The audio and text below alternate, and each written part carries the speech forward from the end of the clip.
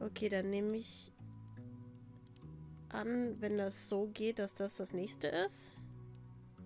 Oder ist das das nächste? Jste zažil na konci války pochod smrti? Ne. Z malé pevnosti jste se dostal? Okay, dann doch da. Jo, jo. Ano, ano. Tehdy nás jelo z Terezína asi 30. Vrátili nám naše oblečení. Eskortovali nás v osobním vlaku. V noci nás vždycky odvedli do nějaký věznice, kde jsme přespali a ráno jsme zase pokračovali a až jsme dojeli do té Osvětimi. A tam hned, jak jsme vystoupili, nám sebrali naše oblečení, poslali nás do těch koupelen, kde nás vykoupali, odvšivili a tak, jak jsme byli, nás vyhnali ven na dvůr a tam jsme museli stát několik hodin, než nám konečně dali táborový hadry a dřeváky a odvedli nás na blok číslo 9. Tam dávali hlavně jako nově příchozí. Tam nám jeden žid, vězeň, vytetoval číslo. Tam už bylo mrtvejch nepočítaně. I když o plynových komorách Březince jsme tehdy ještě nic nevěděli. Z té devítky se chodilo pracovat hlavně na Bauhof. To bylo likvidační komando. Tam se vykládali 50 kilový pytle s cementem. Dovedete si představit při té stravě, jakou jsme měli sílu? 50 kilo, pane bože. Furt šnel, šnel, šnel. No, ale v těch dřevákách to šnel moc nešlo. A navíc já nikdy nebyl na těžkou práci moc stavěný.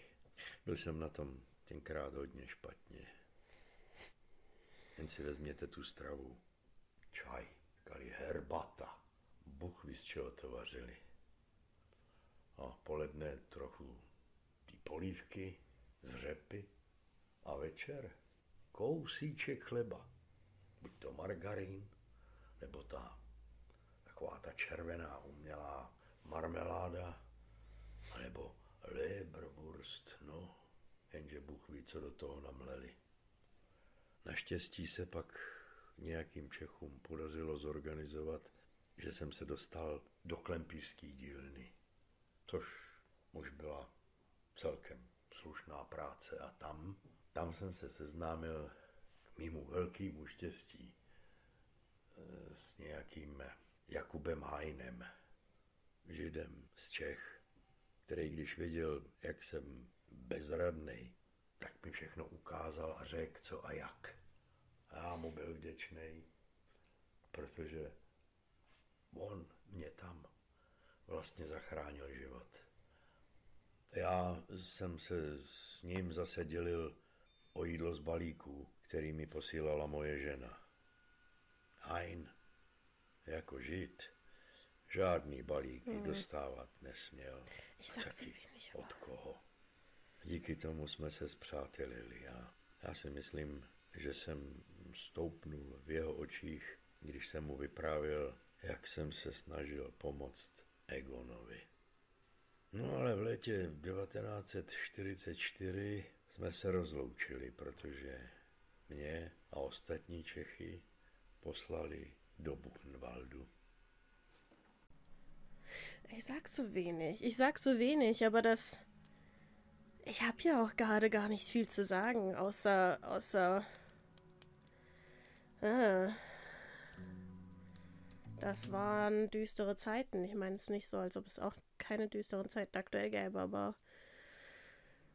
Äh, Mitarbeiter des Aufsichtspersonals also in den Reihen der Häftlinge verwendet wurden.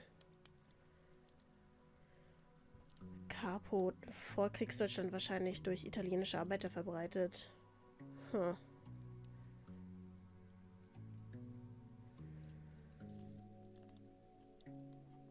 Gab es diesen Jakob wirklich?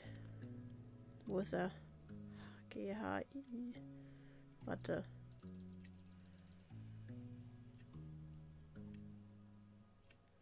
Ich habe doch gerade den... Bin ich blöd?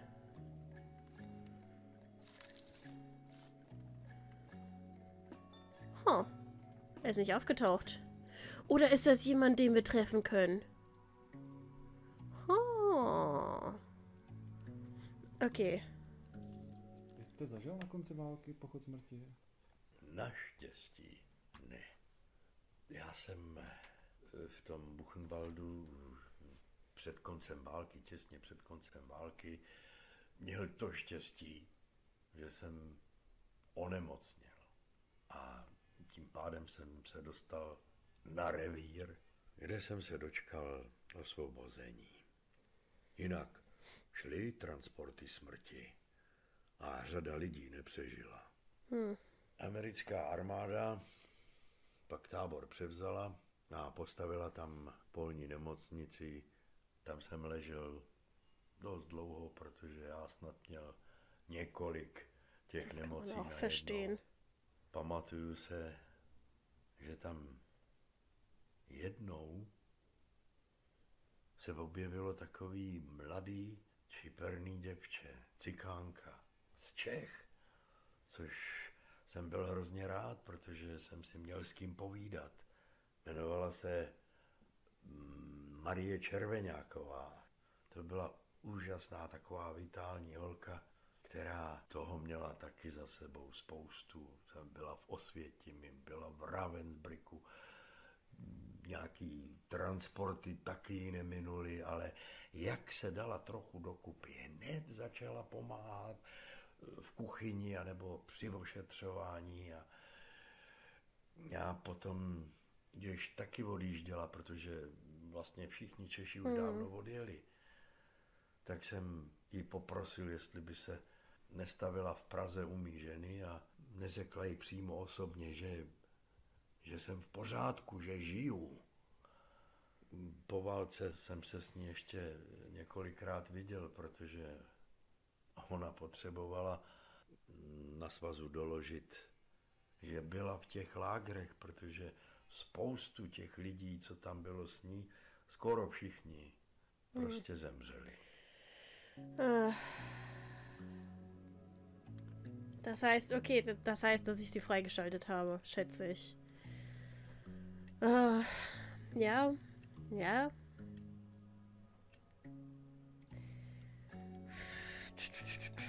Ja, ist das schwierig. Keine Ahnung. Ähm, Auschwitz wär, äh, war ich zum Beispiel mit der Schule. Ich schätze, viele gehen da äh, mit der Schule hin. Ähm, ich weiß nicht, da geht man hin und man fühlt diese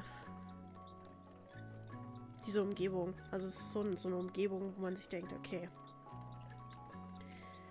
das ist das hat sehr viel Geschichte. Äh.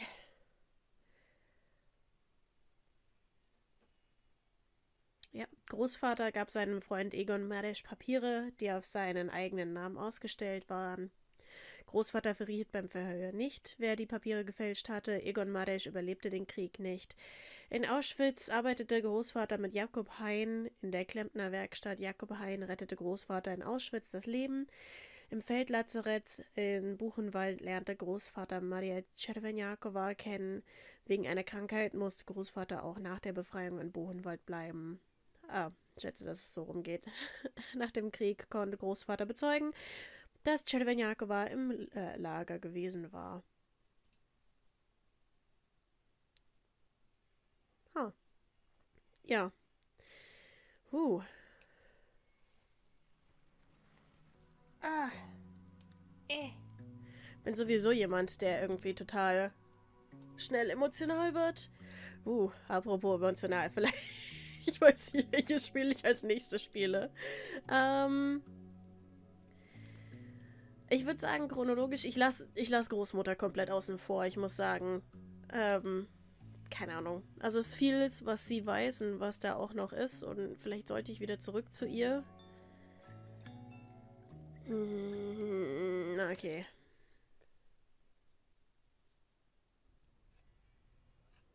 Wie hat Großvater die Gestapo damals aufgehalten? Die Gestapo ist damals einfach so aus heiterem Himmel. Uh. Oh, ich habe vergessen, was ich gefragt habe. Was hast du gemacht, als sie mitgenommen haben? Oh! Ein Minispiel! Uh! Uh! Reinigung der Wohnung. Ich wusste überhaupt nicht, was ich machen sollte. Die Gestapo hatte die Wohnung komplett auf den Kopf gestellt. Als ob sie versuch, äh, versucht hätte. Als ob sie sie verseucht hätte. Also begann ich mit dem Aufräumen.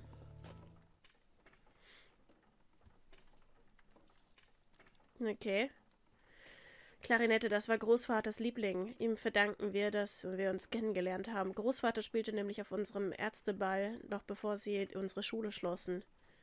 Ja, das haben wir gewusst. Ähm, Papiere, Hocker, Radio. Geld für das Radio hatten wir von Jinjichs Eltern zur Hochzeit bekommen. Jinjich hörte dann äh, damit dann Rundflunk aus dem Ausland. Schallplattenspieler, Kleiderstoff. Ich war gerade dabei, mir ein altes Kleid zu einem Rock umzunähen. Kleidung bekam man auch nur mit Kleidermarken und sie waren immer schwerer aufzutreiben. Ich hatte es schon abgesteckt und äh, die haben mir das alles zerzaust. Uh, Kinokarten. Ins Kino gingen wir im Krieg kaum noch. Ich ertrug diese schwülstigen Wochenschauen nicht. Wenn überhaupt, dann gingen wir in tschechische Filme. In deutsche Filme gingen wir grundsätzlich nicht und die anderen Filme wurden dann nach und nach von den Deutschen verboten. Aber in Filme äh, mit Novi und äh, Golova ging ich gerne, obwohl Großvater mich auslachte, dass das alles Schnulzen seien. Schallplatte Jaroslav Ježek. Großvater hat Ježek unheimlich bewundert, nur leider war er der schon verboten. Zum Glück hatten die Kerle das nicht gemerkt. Bemerkt. Noch mehr. Schallplatte Nachtfalter. Diese, dieser hier hatte ich besonders gern. Ich hatte sie von Großvater zum Geburtstag bekommen. Es ist ein Lied aus einem Film. Fotoalbum. Großvater war ein leidenschaftlicher Fotograf. Huh. Bunte Woche. Manchmal habe ich darin gelesen, Großvater kaufte sie vor allem wegen der Fotos. Unter den Deutschen verschlechterte sich die Zeitschrift aber immer mehr, wie alle Zeitschriften und Zeitungen. Wir haben sie dann immer seltener gekauft. Da meinte, äh, da, da, stand doch in dem Tagebuch, dass, dass, dass äh, die Oma das dort dem Opa zeigt und, und Opa so, ich mag das Lächeln nicht. Äh. Theaterprogramm. Ich ging oft ins Theater in Vinohrade. Dort gab es wenigstens keine Wochenschauen. Aber als Heidrich sein Amt antrat, wurde das Theater von, von den Deutschen für lange Zeit geschlossen. Schade, schade, schade. Okay, Stuhl. Sonst noch was? Da. Flugblätter. Oh! Ja. Na, Yuki. Cleverer Ort zum Verstecken. Hm. Die Flugblätter bekam äh, Jinjich bei Kriegsbeginn von einem Freund aus der Kindheit, der im Widerstand war. Ich holte sie aus dem Ofen und versteckte sie in der Küche unter dem Parkettboden. Oh. Stuhl, Stuhl.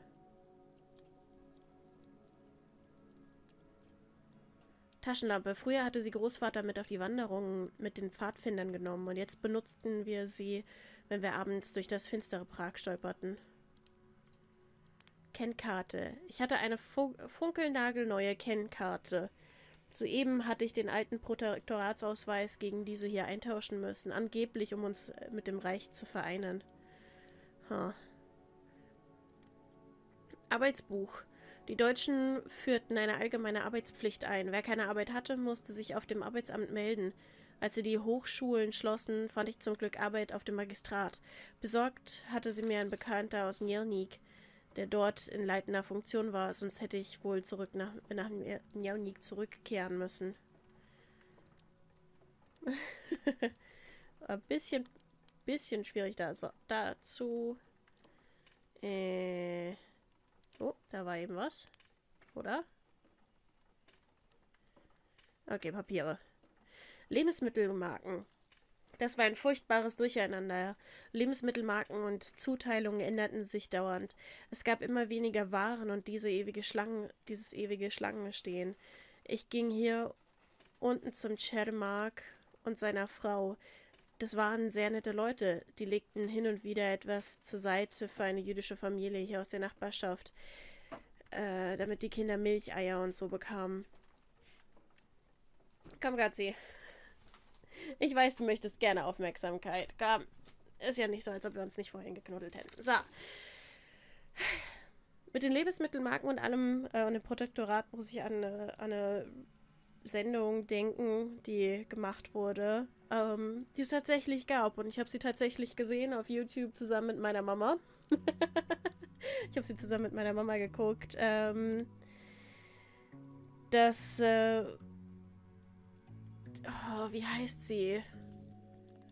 Oh, mir fällt der Titel nicht ein. Das ärgert mich jetzt. Ähm, irgendwas Protektorat, äh, Leben im Protektorat, schätze ich, keine Ahnung. Es ist halt tschechischer Titel und komplett auf Tschechisch. Ich weiß nicht, ob es irgendwo eine untertitelte Version gibt. Und äh, dort wurde eine Familie genommen, drei Generationen, und äh, in ein Häuschen in den Bergen gesteckt. Und bei denen wurde quasi, das, das, also die mussten da, glaube ich, einen Monat sein und jede Woche hat sich eben, sind die um mehrere Jahre nach vorne geschritten. Und dann, dann haben sie immer wieder unterschiedliche, ähm, da war ja ein Verkäufer, da mussten sie irgendwann Lebensmittelmarken nutzen, die sie bekommen haben. Und der hat ihnen immer Nachrichten gebracht. Und die mussten sich um die Tiere kümmern, die sie dort hatten und äh, was sonst nicht alles. Ähm,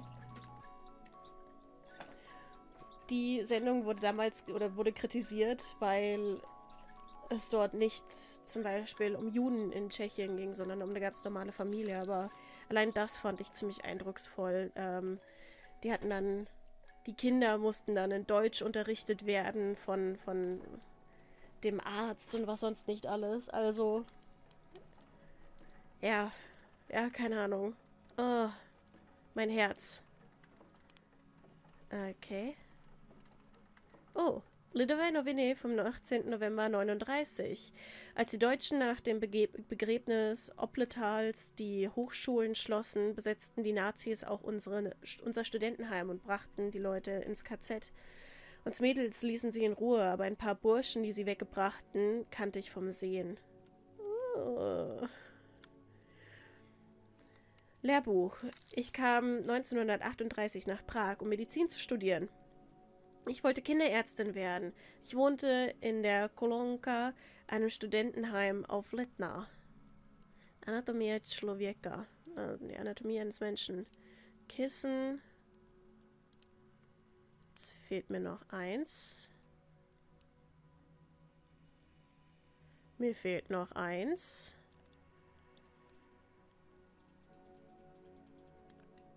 Oh oh. Es hilft nicht. Ach, da.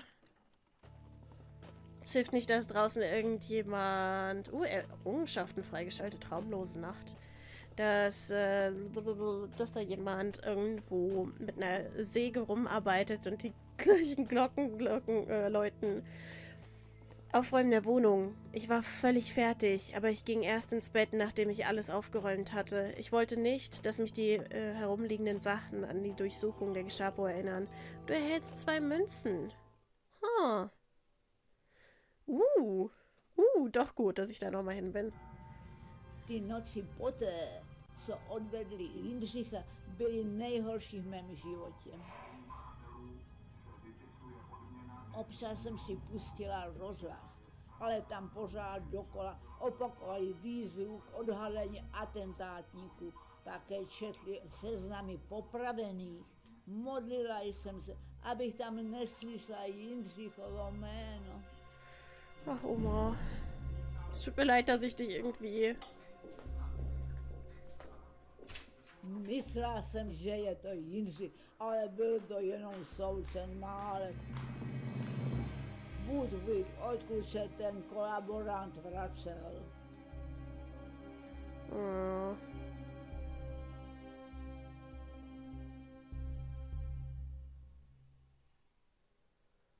Oh wei.